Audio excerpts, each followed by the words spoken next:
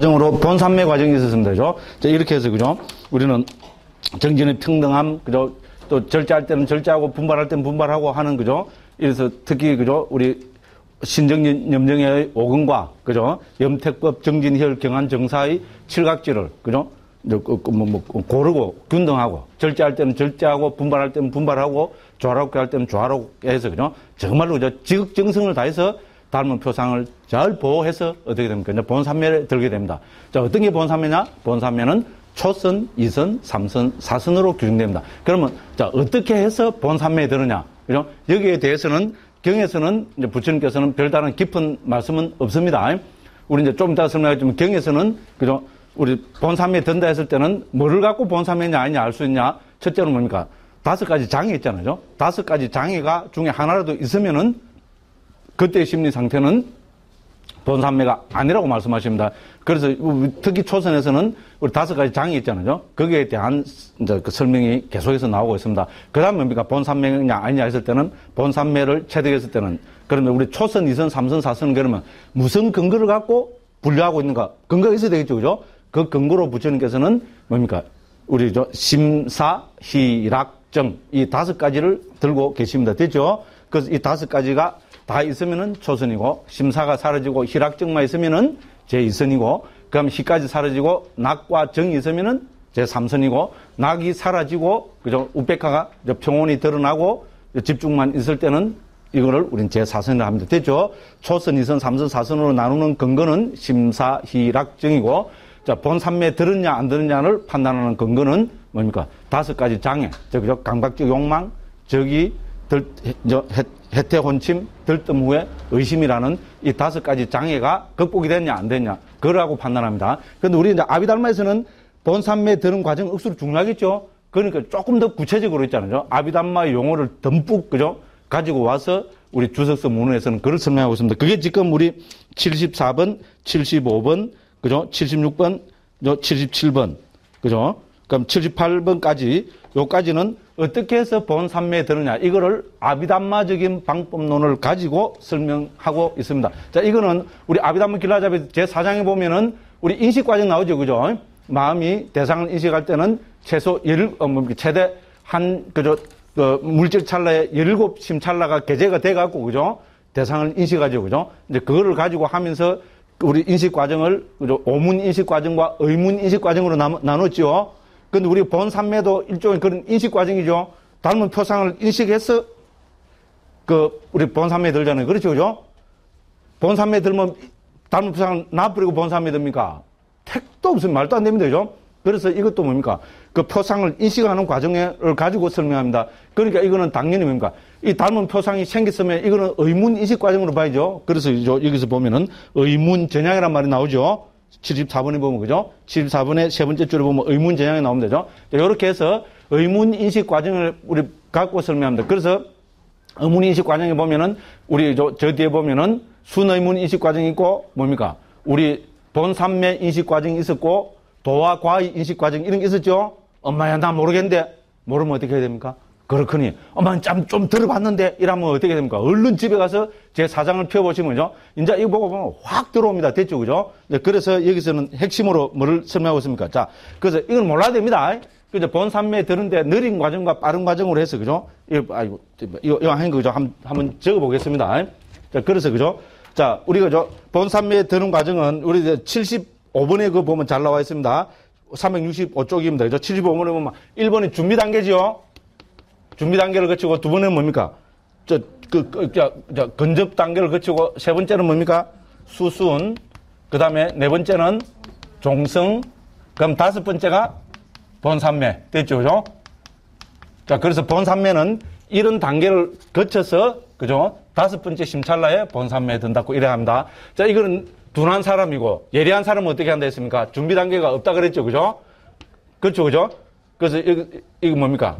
이제 근접이 되고, 그죠? 수순, 그 종성, 본산매. 이래, 이래 된다 그랬죠? 그죠? 됐습니다. 근데 여기서 핵심 키워드는 뭔가 하면 종성입니다. 종성 여기서 곧따라 부로 돼 있죠? 그죠? 곧따라 부를 옮기면 종성이 됩니다. 원어는 곧따라 부, 이래 됩니다. 자, 이거를, 그, 그, 그 종성이라고 그렇게 옮겼습니다.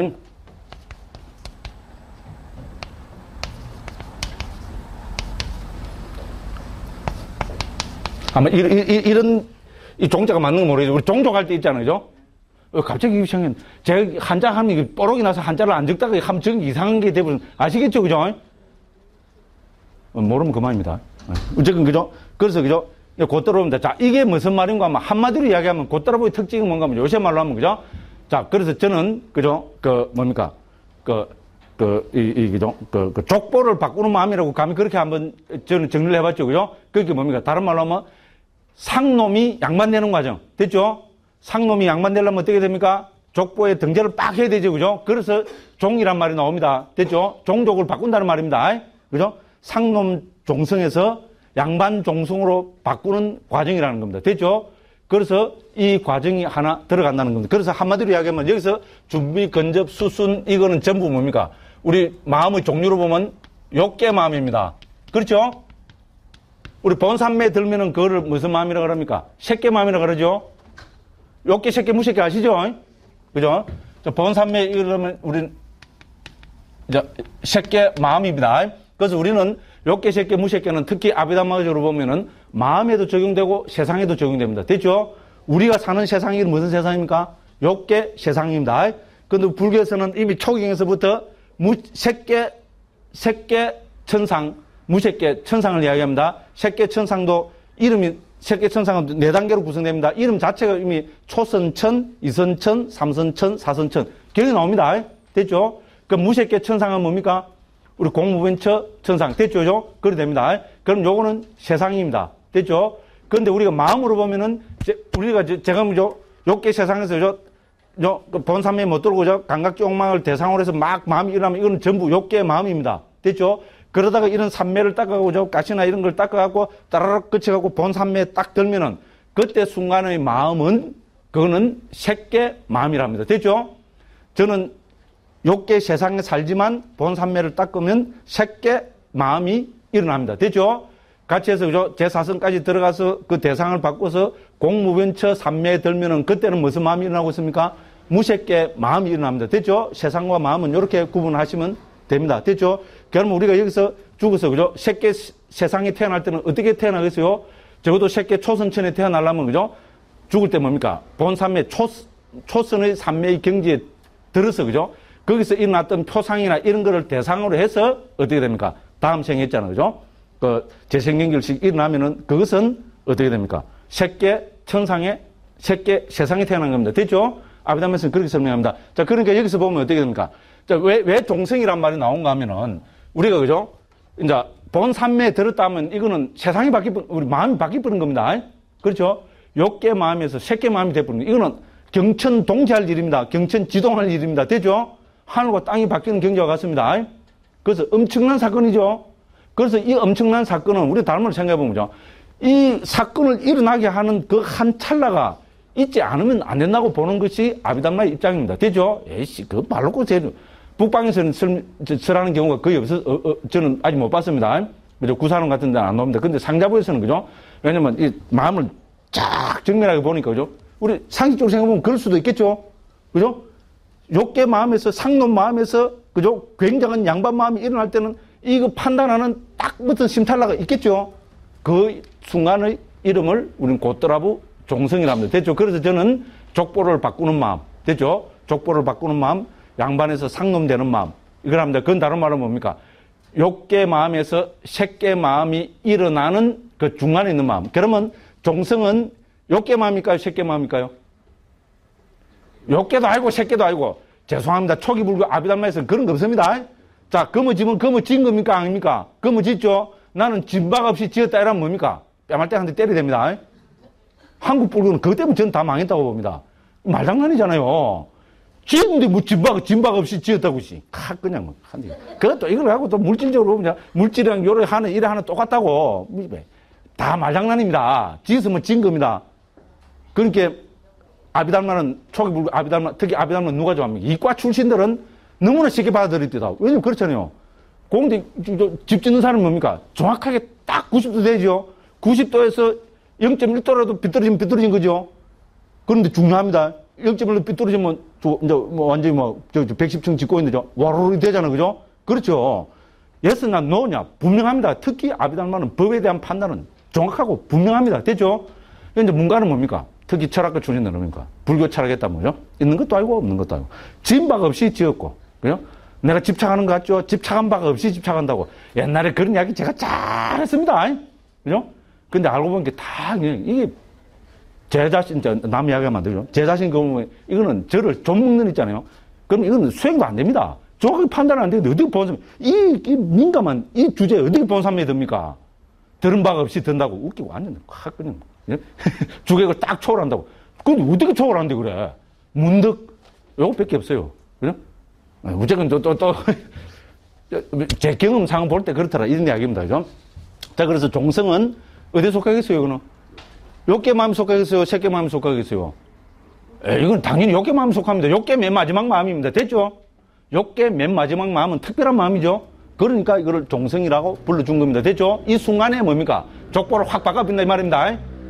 됐죠? 이 순간에 상놈에서 양반으로 딱 바꾸고 그렇지만 바꾸는 순간이니까 아직 상놈입니다. 됐죠? 양반에 딱 들어가야 양반입니다. 됐죠? 그런, 그런 이야기입니다. 자, 그래서 상자부 불교의 가장 큰 특징 중에 하나입니다.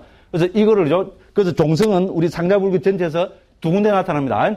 자, 본산매 될 때. 자, 욕계 마음에서 색계 마음 일어나는 것은 완전 종족을 바꾸는 거죠. 자, 깨달을 때는 어떻게 되겠어요? 예를 들어서 우리 성자가 되었다. 이거야말로 완전히 상놈에서 양말이 되는 거죠. 범부에서 성자가 되는 거잖아요. 그러면 우리 예루가 될 때 종성이 일어날까요? 안 일어날까요? 당연히 일어납니다. 아비담마 결라 잡을 때 봤죠? 그죠? 그래서 종성은 두 군데서 나타납니다. 자, 본산매 될 때, 봄산매 될 때는 뭡니까? 욕께서 쉽게 마음이 일어나니까 당연히 종성이 일어납니다. 그 다음에 뭡니까? 성자가 될 때 어떻게 됩니까? 본부에서 성자가 될 때 이때도 당연히 종성의 마음이 일어납니다. 됐죠? 됐죠? 예, 그렇습니다. 자, 그런데 우리가 또, 또 한번 보겠습니다. 자, 그러면 제2선에 들 때는 종성이 일어날까요? 안 일어날까요? 네? 안 일어날까요? 일어납니다. 왜냐면 여기 일어난다는 말은 없는데 좀 이따 보겠습니다. 문맥으로 살펴보면 이건 반드시 일어납니다. 왜 그렇습니까? 자, 우리 저 제2선에 들 때는 초선에 들었다가 어떻게 되면 초선에 들었다가 바로 이선으로 못 갑니다. 됐죠? 초선에 들었다가 나와서 초선을 반조해 봐야 됩니다. 초선에 들었다가 나오면 어떻게 됩니까? 본산맥이 깨진 거죠? 그럼 다시 색, 욕계 마음이 일어났죠? 그죠? 반조할 때는 욕계 마음이 진행됩니다. 그러다가 다시 어떻게 됩니까? 제2선에 들면은 다시 본산맥 들죠? 그럼 욕계 마음이 진행되다가 다시 색계 마음이 들어가죠? 그러니까 종성이 일어납니다. 됐죠? 제3선에 들 때도 같이 하여 일어납니다. 제4선에 들 때도 일어납니다. 자, 그런데, 자, 예루자가 되어 갖고 일례자가 될 때는 종성이 일어날까요? 안 일어날까요? 네? 한 생에서 보면 안 일어납니다. 왜? 한 번 해병되는 영원한 해병이죠. 한 번 승자는 뭡니까? 죽을 때까지 승자입니다. 됐죠? 무슨 말씀 알죠? 예루자가 됐다가 성자가 됐다가 법무가 되는 경우는 결코 네버 없습니다. 다음 생은 어찌 되는 건 모르겠어요. 그건 열애로 놔두고 그죠? 한번 성자가 되면은 금생에 한 번 예루자가 되면은 아 나 예루자가 됐는데 어, 제 생각 보고 예루자 안 갔다 이러면 뭡니까? 그럼 바라이 죄입니다. 성가에서 쫓겨나가는 죄입니다. 됐죠? 가장 큰 망입니다. 우리가 살도 음망하면 특히 스님들은 이 살도 음망의 대표적인 걸 하면 옷 벗어야 됩니다. 쫓겨나갑니다. 제가자들은 그런 거 없습니다. 제가자는 살생한다고 해서 뭐 살인한다고 해서 성단에 쫓겨나고 그런 거 없습니다. 대신에 제가자는 뭘 처벌을 받습니까? 국가의 처벌을 받습니다. 됐죠? 그 율장은 제가에 관한 율장은 없습니다. 됐죠? 그죠? 기본적으로 그렇습니다. 근데 스님들은 뭡니까? 살생 다 쫓겨난다. 말도 안 되면 우리 개율할 때 했죠. 그죠? 그래서 살인입니다. 사람 죽이면 선보 입고 있으면 안 되겠죠. 상식 중의 상식입니다. 도둑질. 일반 도둑질, 그죠? 우리 주지 않는 거 가진 경우 상당히 많습니다. 그죠? 그렇죠?